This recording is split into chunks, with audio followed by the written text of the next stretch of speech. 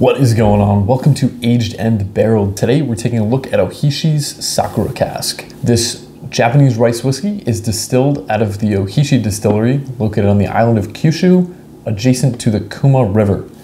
It is distilled using 100% malted and unmalted rice grains. It is 42.7% alcohol by volume or 85.4 proof. I picked this up for around $70 and this, just like all the others on the Ohishi line, is distilled using a stainless steel pot still. Full disclosure, I'm a little suspicious whether this really is a Japanese whiskey. Um, for now, I'm gonna take their word for it, and that's more of a topic for another day. All right, let's pop the cork off and give it a try.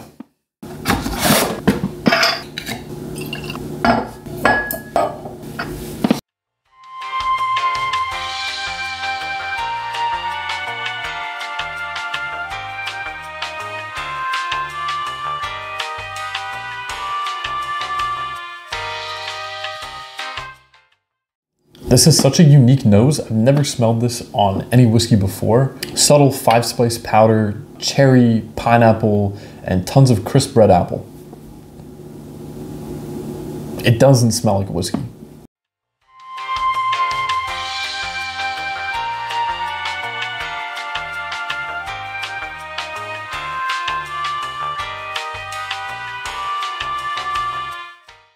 The palate is super floral. Uh, there's clover honey, notes of green apple, a little bit of pear and plum. It, it reminds me a lot of sake.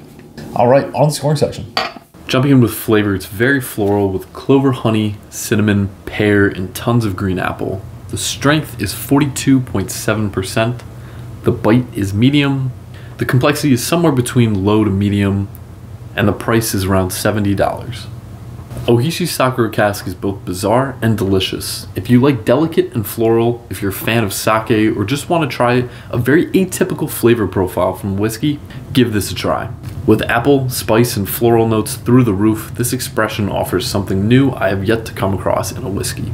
I'm giving Ohishi Sakura Cask a 6.8 out of 10.